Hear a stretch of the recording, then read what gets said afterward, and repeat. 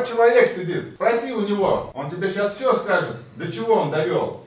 Трое детей, так или нет?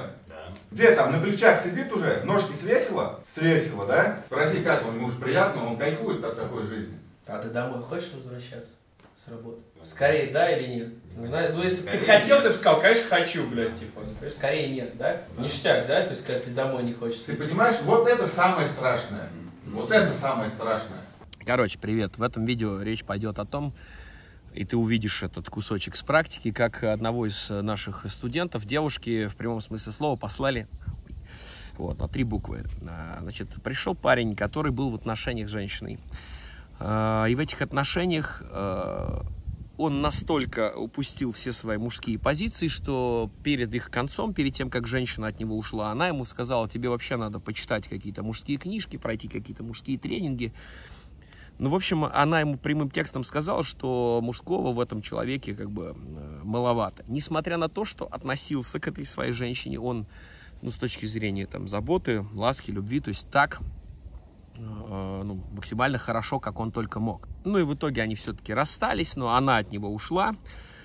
Э, и прикол в чем, что на самом деле ну, лично для меня, научить человека найти себе женщину, познакомиться, там, пойти на свидание, заняться сексом, сблизиться, бла-бла-бла-бла-бла. То есть это самое простое, элементарное, что только может быть.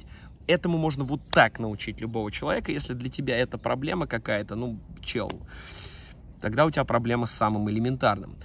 А, и этому я, собственно говоря, уже в первый день могу научить тебя на тренинге практика. Но суть не в этом. Самое сложное и основное и важное, как выясняется потом, это правильное поведение уже с выбранной женщиной, либо неправильно сделанный выбор, когда ты ошибаешься изначально и не видишь элементарных вещей, не видишь а как будто ты слеп. Или когда ты выбрал женщину и с ней уже ведешь себя мягко, не отстаивая свои границы, личные границы, не э, обозначая какие-то нормы поведения, которые с тобой допустимы либо недопустимы и после чего ты пожинаешь самые негативные плоды. Мужчины сами своим поведением, неправильным поведением, может быть не жестким где-то нужно поведением, они все портят.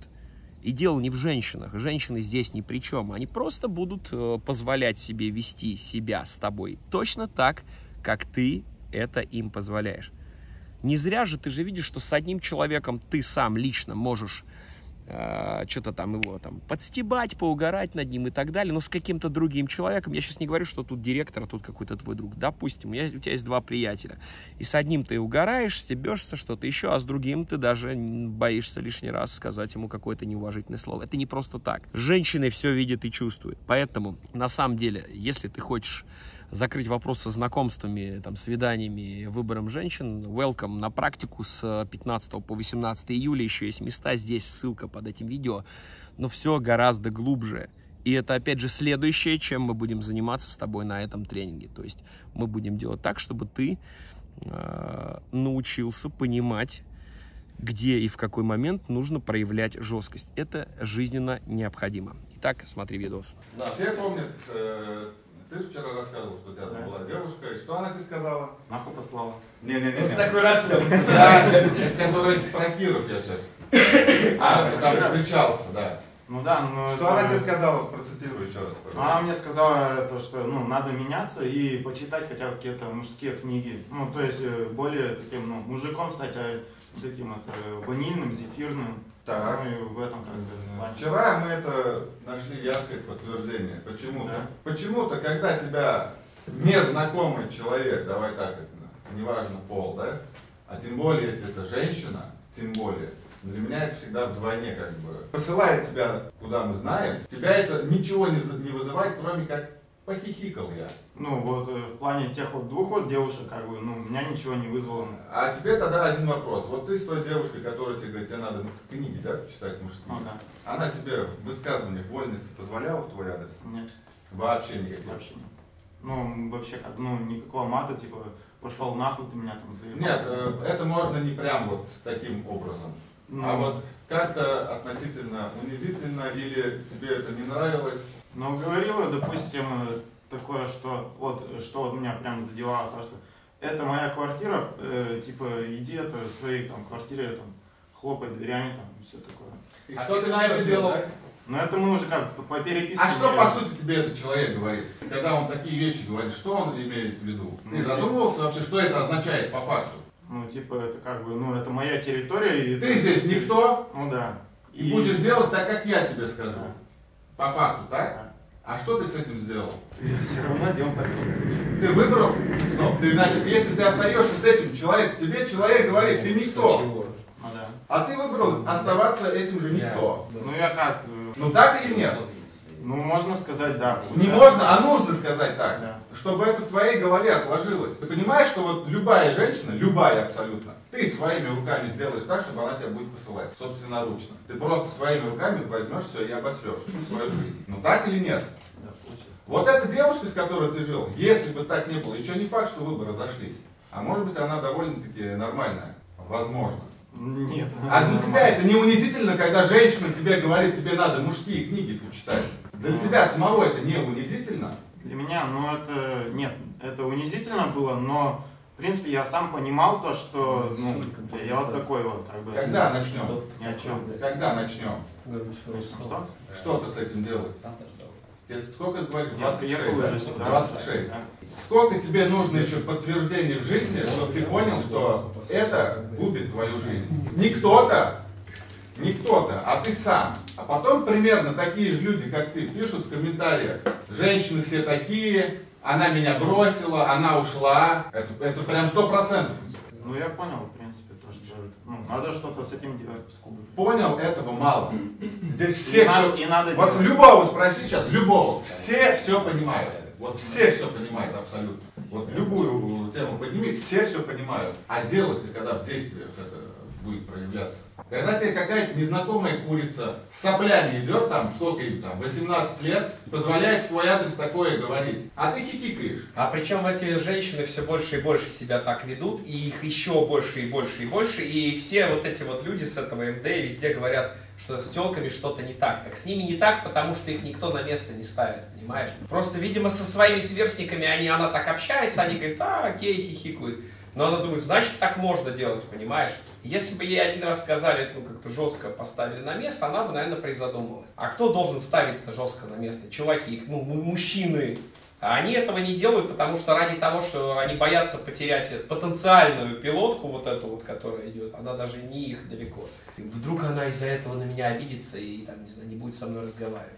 Они слушают вот эту хрень, как бы хавают ее, а потом удивляются. И не ничего даже не это. Зачем тебе человек, который тебя считает никем, для которого ты никто? Ну, получается. Ну, Чем ну, закончилось в итоге? В итоге чем закончилось? а, с девушкой, которая Да, да, вот ну, в итоге разошлись. Разошлись. Ну, мы...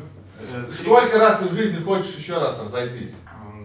Вообще не хочу. Не хочешь. Но э, не хотеть этого мало. Зачем тебе человек, который тебя считает никем? Познакомиться там с кем- это не проблема. В принципе, в твоем случае будет не проблема. Вот человек сидит, спроси у него. Он тебе сейчас все скажет, до чего он довел. Трое детей. Так или нет? Где там, на плечах сидит уже? Ножки свесила? Свесила, да? Спроси, как он, ему уж приятно, он кайфует от такой жизни. А ты домой хочешь возвращаться с работы? Ну, иногда. Скорее да или нет? Ну, скорее. Ну, ну, если бы ты хотел, нет. ты бы сказал, конечно, хочу, блядь, типа. Ну, конечно, скорее нет, да? Да. Ништяк, да? То есть, когда ты домой не хочется. Ты идти. понимаешь, вот это самое страшное. Вот это самое страшное. Когда в итоге ты останешься один. И детей твоих хер пойми, кто потом будет с ними жить. Возможно. Ты посмотри вокруг, что происходит. Ты хочешь стать одним из них, а ты непременно станешь, если такой же будешь. Если это всю вот эту нечисть в свой адрес, будешь хихикать. Это я просто, ну, на твоем примере яркий пример был. Ну что, Но это для всех актуальная тема. Просто это очень как бы такое, ну, как ближе к крайностям послали нахуй, да?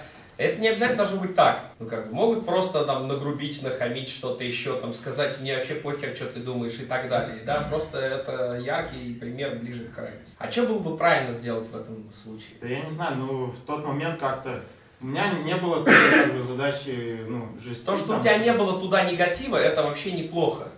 Ну, у меня, Ну, да, потому что было- тебя не задевает, это ты понимаешь, что проблема не в тебе, а в ней. Ну, как бы, это вообще самое крутое, что может быть. Но так или иначе, вот у тебя к жене, к своей, к женщине, с которой ты начнешь встречаться, к новой, не будет негатива, она тебе нравится. Ты сам чувак не злой. И она говорит, блядь, пошел нахуй. Как тебя еще раз зовут? Дима. Дима, иди нахуй. По- по-кировски. Иди нахуй, Дима. Так, она говорит. Что ты ей на это скажешь? Да я ее пошлю. А знаешь, почему она тебя послала? Не вот вчера незнакомая, а вот говорят, знаешь почему? И будут посылать все оставшиеся. А потому что в тебя видит человек, которого можно послать. И ничего не будет. Приползет обратно. Три раза там приходил обратно. Вот, и четвертый раз приползет. Если она захочет. Если она захочет, ты четвертый раз туда придешь. Не, ну все, явно. Так и было. Это я говорю не чтобы ты тебя там, а скажу, чтобы ты задумался, ты- как ты можешь собственноручно свою всю жизнь загубить. Зачем? Всего лишь навсего нужно не позволять человеку с собой обращаться. Ты к нему, если хорошо относишься, ну ради бога, в этом ничего плохого нет, так и должно быть. Свою женщину нужно обязательно уважать. Но это должно быть взаимно. Если нет, зачем тебе такая женщина? Завтра придет к тому, что она тебе просто, вот мы как шли по мосту, поворачивается и мужу говорит, пошел открытым текстом. Мужу с двумя детьми они идут. И у меня волосы дымом встают. Просто как он может настолько, вот я не знаю, я его презираю. Я не ее презираю, я его презираю за это. За то, что он свою жизнь взял сам и загубил. Зачем? Ну ты же не этого хочешь в своей жизни. Ну давай мы этот вопрос, ну задумайся над этим серьезно. А это реальность. Ты в этом неминуемо окажешься. Это, ну, я говорю тебе, это как бы, что все. Если ты позволяешь человеку с собой разговаривать неуважительно, степень этой неуважительности будет всегда только возрастать. Она не будет э, уменьшаться. Она всегда только будет расти. Ну, такая тварь этот человек. Ну, мы так устроены, многие. Все больше и больше себе позволяем. И все меньше и меньше уважаем этого человека. И она, как женщина, тебя, как мужчина, не будет хотеть. Как можно хотеть человека, которого ты абсолютно не уважаешь, считаешь за тряпку?